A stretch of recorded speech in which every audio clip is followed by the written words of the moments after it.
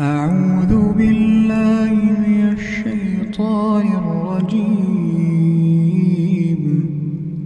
إن الذي فرض عليك القرآن لرادك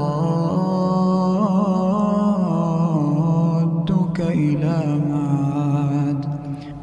قل رب أعلم من جاء بالهدى ومن هو في ضلال مبين. وما كنت ترجو أن يلقى